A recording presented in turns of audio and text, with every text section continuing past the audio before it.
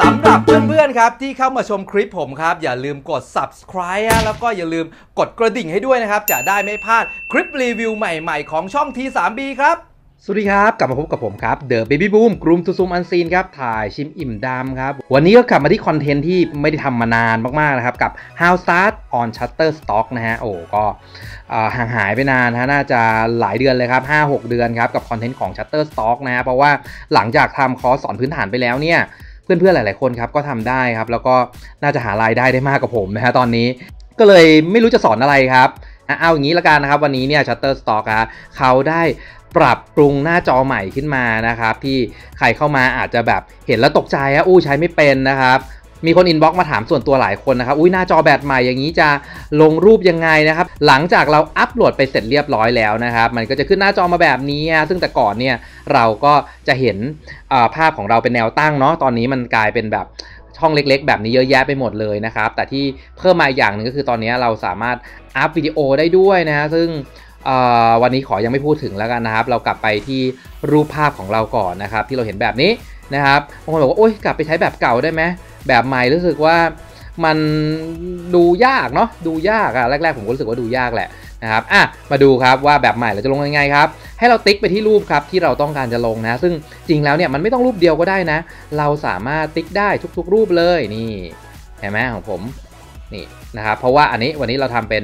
อัลบั้มรูปแบบเดียวกันหมดเลยนะครับ เราก็ติ๊กเหมือนกันครับ ทีเนี้ยตัวฟีเจอร์ใหม่ที่มันเก่งมากๆตัวนี้ครับ ลองเลื่อน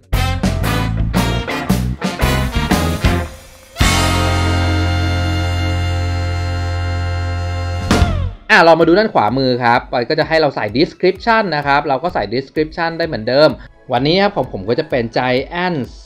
street lamp ละกันเนาะ อ่า เป็นเสาไฟถนนนะครับ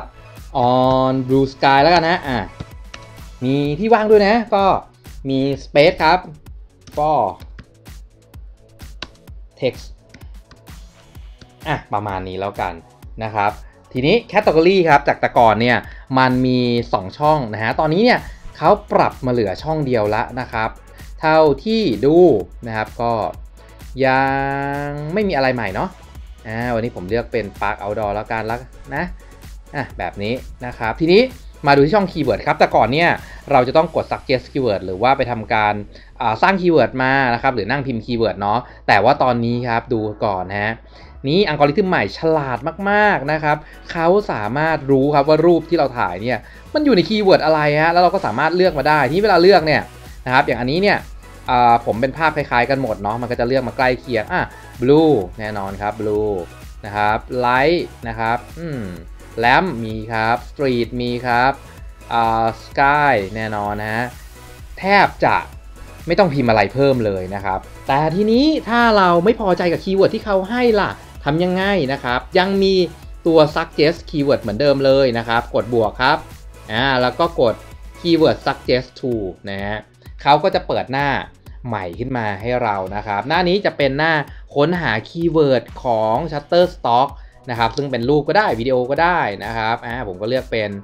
อ่า photo อย่างเดียวนะครับ แล้วก็ Giant Street Lamp แล้วกันนะฮะลองดูปึ๊บมีไหมโอ้โห Giant ที่นี่เป็นหลอดไฟใหญ่หมดเลย น่าจะไม่ค่อยเหมือนเนาะอ่าไม่ค่อยเหมือนอ่านี่ไงนี่ไง ที่เดียวกันเลยนะครับ คล้ายๆ กันแหละน่าจะถ่ายอุดรธานีเหมือนกันอะแต่เขาบอกว่าต้องมี 3 รูปขึ้นไปอะผมเอา ช้างด้วยช้างด้วยเพราะว่าก็เป็นอาร์เคเต็กที่เป็นสตรีทแลมเหมือนกันอะนะครับแล้วก็อาจจะเอาเนี่ยแหละอะสถาปัตยกรรมที่มันเป็นเสาไฟฟ้าอะประมาณนี้นะครับลองดูลองดูลองดูอันนี้อะเขาก็จะขึ้นมาให้ครับ แถวบนนะครับเราก็ดูว่าใช่เกี่ยวกับรูปภาพเราไหมนะครับ แล้วก็แถวล่างถ้าที่ข้างบนไม่พอเราก็เพิ่มข้างล่างเข้าไปได้นะฮะ อะนั้นผมเอาตามนี้ก่อน แต่ว่าตอนนี้เนี่ยการ suggest keyword เนี่ยที่เปลี่ยนมาใหม่ครับเขาจะไม่ให้เรากด suggest แล้วไปขึ้นละนะครับเขาจะให้เรากด copy ครับ หลังจากนั้นนะครับเราจะต้องเอามาวางฮะในช่อง enter keyword แบบนี้นะครับ แล้วกด enter ครับ นี่ keyword ก็จะลงมาอยู่ในตัวช่อง keyword ของเรานะอ่าต่อมานะครับอ่าหลังจาก keyword เราใส่เรียบร้อยแล้วอ่าเป็นไงง่ายไหมสะดวกไหม ต่อไปครับ r e l a s e ครับ ก็ดูครับว่าถ้าใครต้องการมีรูปที่มีติดบุคคลเข้าไป หรือมีเกี่ยวกับลิขสิทธิ์เนาะก็ดาวน์โหลด release ของตัวเองนะครับ ก็ไปดาวน์โหลดได้ที่ release form นะครับแล้วก็มีโน้ตอะไรสำหรับรีวิวเวอร์ไหมอ่าเป็นอะไรครับ เป็น cast number เป็น illustrator หรือเปล่าอ่าผมไม่โน้ตแล้วกันข้ามไปนะครับ แล้วก็อันนี้มีเป็นเรทหรือเปล่าเป็น illustrator นะครับ เป็น editor นะฮะก็คือเป็นข่าวไหมนะฮะแค่นี้เอง นะครับตัวใหม่นะครับแล้วเราสามารถจัดไอตัวโฟลเดอร์ของเราได้ด้วยนะครับเป็นรูปที่เพิ่งดาวน์โหลดขึ้นใหม่หรือรูปเก่า เพราะว่าบางคนเนี่ยออย่างรูปที่ผมถ่ายเนี่ยที่วันนี้ใช้โทรศัพท์มือถือถ่ายนะครับ iPhone 6ฮะไม่ได้ไม่ได้ทำรูปไม่ได้ผ่าน process ใดๆครับ ก็ใช้มือถือลงในแอปพลิเคชันเนี่ยแหละ แล้วก็ส่งเก็บไว้ครับแต่จะพิมพ์แอปพลิเคชันเนี่ยมันก็พิมพ์ยาก ก็เลยมาเปิดอีกทีในคอมพิวเตอร์เนาะแล้วก็ เนี่ยครับแบบนี้ฮะแล้วก็ส่งไปอย่างนี้เลยครับเห็นไหมฮะแค่มือถือเครื่องเดียวครับ เราสามารถถ่ายขาย Shutterstock ได้เนาะบางคนชอบถามผมมาว่าเอ๊ะต้องซื้อกล้องอะไรครับ ไปถ่าย Shutterstock นะฮะหรือว่าต้องเรียนโปรแกรมแต่งภาพเยอะแยะแค่ไหนใช้ Photoshop Lightroom ได้ไหม ก็ใช้ได้ครับอย่างที่บอกครับโปรแกรมใช้ได้หมดเลยเนาะแล้วก็ถ้ากล้องก็ยิ่งดีคุณภาพมันก็ยิ่งดีละครับ แต่ว่าสำหรับผมเนี่ยวันทุกวันนี้มันยุ่งมากๆครับ ก็ ใช้ iPhone นี่แหละนะถ่ายรูปส่งรูปไปนะครับ ก็ช่วงนี้ไม่ค่อยได้ทำครับนานๆทีจะลงสักทีหนึ่งก็มียอดตกกันบ้างนะครับ ก็ขอให้เพื่อนๆครับเพื่อนๆเนาะที่ได้เรียนไปแล้วคอร์สออนไลน์ Shutterstock หรือแม้กระทั่งกำลังทำอยู่เนาะแล้วก็งงงวยกับ Shutterstock หน้าอัปโหลดใหม่นะครับ ก็ลองดูครับลองใช้ดูครับ ผมว่าง่ายขึ้นเนาะสะดวกขึ้นครับ แล้วก็ขอบคุณครับ ที่ติดตามชมผมครับเดอะเบบี้บูมกรุงทูซูมอันซีนทายชิมอิ่มดำครับ